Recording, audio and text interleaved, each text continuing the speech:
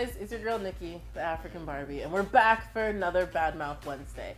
I'm quite excited about this one because I read all of you trolls commenting under the last Badmouth Wednesday, and apparently I'm faking my accent. I'm so sorry that I was born and raised in the States for 23 years, and I just moved back like a year and a half ago. Yes, I'm revealing my age. And I am faking my American accent. I am so sorry that I am. First off, shut up. You said um, managers are hiring young girls who have accents like us. Where's your accent from?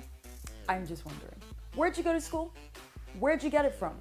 Did you go where? Guys, like seriously, I'm gonna calm down. Eh?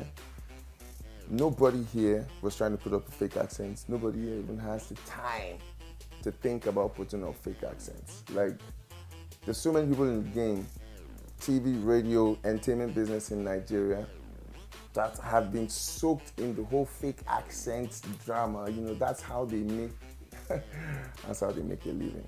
If the accents you're putting up puts food on your table, how about you go ahead and do it?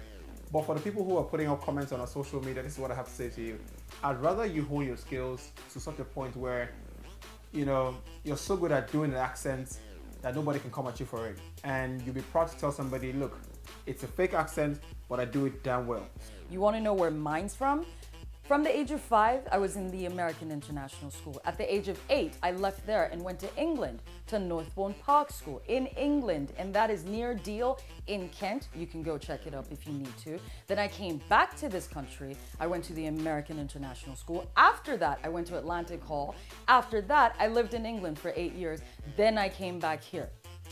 What you saying? I was almost, you know, drawn into that the earlier stages of my career. But shout out to Tintin, you know, told me that, dude, dude, dude, dude, dude, quit it. Like, I didn't get you up here because of your accent, no. Because of who you are, you're talented, you have the right energy, you're a fantastic person. That's why I want to work with you, not because of your accent. And then, guys, don't even think about my colleagues. It makes no sense to me. Why? What purpose do I have to fake an American accent? And people are like, oh, a lot of people in the industry, you have to have a British accent or this accent or that accent. Yo, to me, you gotta have talent. And there's a lot of people in the industry right now, they be faking an accent, and we know. We how you gonna tell me you from Atlanta and you don't even know Atlanta's in Georgia? We know, son, we know. Like, fam.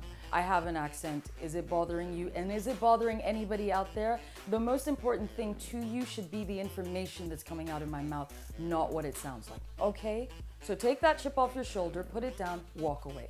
The basic for anybody is, you know, just speak good English. If you can't do an accent, just speak good English. And don't feel bad if somebody speaks an accent and you cannot, because the truth about the matter is, it's what's up here, you know, it's a skill. If you've got it, if you're here, if everything is here, you're good, you know, so. Guys, don't even think about my colleagues. They have the accent that you think they're forming. That's what they're all about. Okay? So, no, no, no.